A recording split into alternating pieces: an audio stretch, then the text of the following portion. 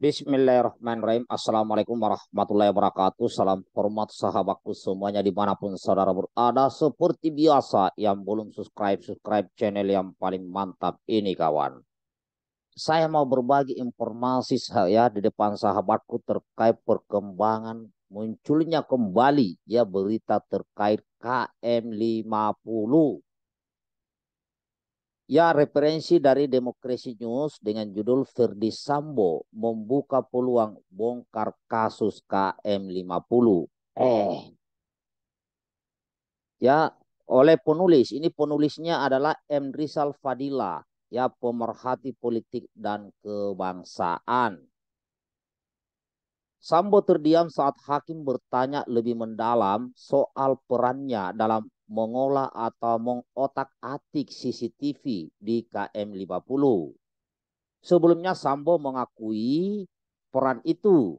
Artinya tim di bawah koordinasinya terlibat dalam kasus pembantaian enam anggota Laskar FPI.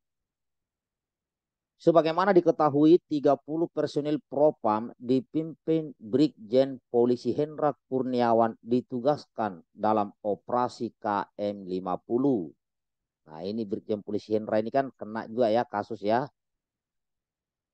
Dalam kasus obstruction of justice, Brigjen Polisi Hendra Kurniawan, isi dakwaan JPU menyebutkan AKBP Aricaya Nugraha atau Acai adalah petugas yang merekayasa atau mengotak-atik CCTV di rumah dinas Sambo Duren 3 dan juga di KM 50. Dengan demikian terbuka keterkaitan peran divisi Propan atau Satgasus pimpinan Firdi Sambo dalam peristiwa KM50. Pengakuan Sambo yang dikaitkan dengan dakwaan JPU di atas menjadi alasan kuat untuk membongkar kembali kasus KM50. Ada tiga indikasi pentingnya, yaitu pertama, menjadi novum untuk memeriksa kembali kasus KM50 sesuai dengan yang telah dijanjikan Kapolri Jenderal Listio Sigit di depan DPR RI. Pemeriksaan pengadilan atas FR dan YO terdahulu syarat dengan kepura-puraan. Kedua, keterlibatan Satgasus Polri pimpinan Sambo dalam kasus KM50 semakin nyata dan terbukti Saatnya untuk mengusut tuntas hingga terbukti bahwa dalam kasus ini telah terjadi pelanggaran HAM berat.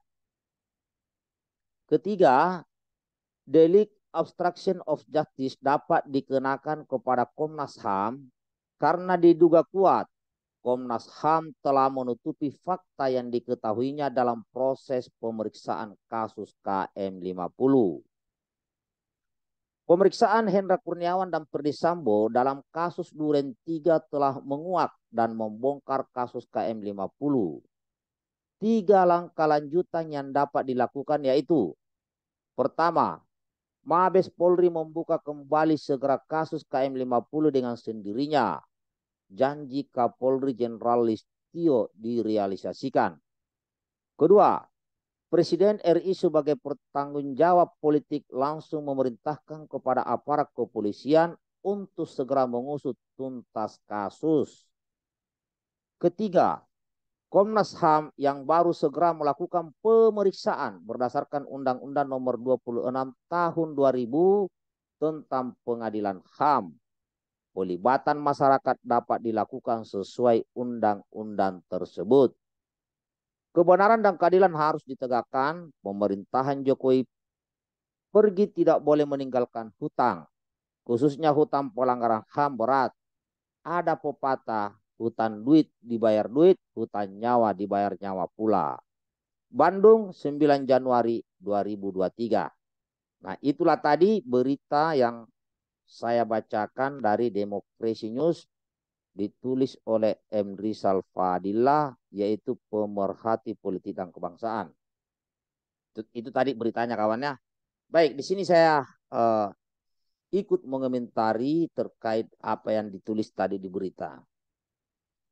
Nah, memang saya juga pernah ya, kita semua ya menyaksikan pada saat Pak Kapolri berada di gedung DPR RI, di mana di situ Pak Kapolri mengatakan bahwa jika ditemukan novum yang baru, ya jika ada novum yang baru, maka nah, itu bisa dibuka kembali. Nah, menurut tulisan yang kita baca tadi bahwa dengan adanya kejanggalan-kejanggalan ya seperti eh, terkuaknya ya eh, kasus masalah CCTV di kasus oh, Perdi Sambo ya bahwa AKP Acai itu adalah orang yang mengotak-atik CCTV yang ada di Duren Sawit ya kejadian eh, masalah meninggalnya Brigadir J dan ternyata kelompok ini juga lah yang ikut dalam mengotak-atik uh, CCTV KM50 ya, masih satu kelompok itu juga. Nah, sampai sekarang belum ditemukan isi daripada CCTV yang di KM50 yang konon ceritanya rusak dan sebagainya. Sehingga di sini publik meminta agar itu dicari. Nah, ini kawan penjelasan saya. Ya, kalau saya kawan, ini saya ini sangat percaya apa pun perbuatan kita akan dibalas oleh Sang Pencipta. Saya punya keyakinan itu. Kita berbuat baik, insya Allah kebaikan juga akan mendekat ke kita, akan menyertai kita. Jika berbuat keburukan, maka keburukan juga akan menyertainya. Itu ada yang langsung kontan, ada yang nunggu waktu dulu dan sebagainya. Ini kalau saya.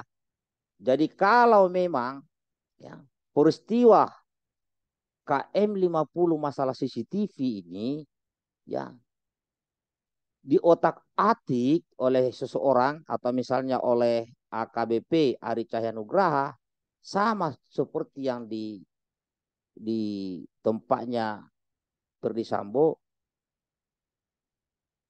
bisa jadi ini adalah cara Tuhan membukanya. Ya.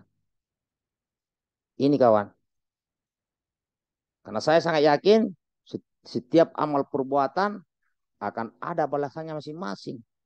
Sesuai dengan uh, kadar semuanya. Ya. Ini ya orang bilang karma ya, orang bilang karma. Kalau saya ya, kalau kita berbuat baik, insya Allah kebaikan akan menyertai kita. Kalau kita berbuat buruk, ya keburukan. Kalau kita tidak amanah di dalam menjalankan didas, maka ya tunggu saja kapan Tuhan menghentikan karirnya. Ini kalau saya. Makanya kalau masih ada novum begini, ya karena sepengetahuan saya, i kasus KM50 sudah selesai. Sudah selesai. Itu yang saya tahu lewat media. Tapi karena ada pernyataan Pak Kapolri kalau ada novum baru maka masih bisa dibuka kembali. Nah ini dianggap novum baru terkait masalah ini yaitu CCTV. Ini kawan. Nah bagaimana menurut sahabatku terkait ini? Apakah perlu kasus KM50 dibuka kembali ataukah kasus KM50 dianggap selesai?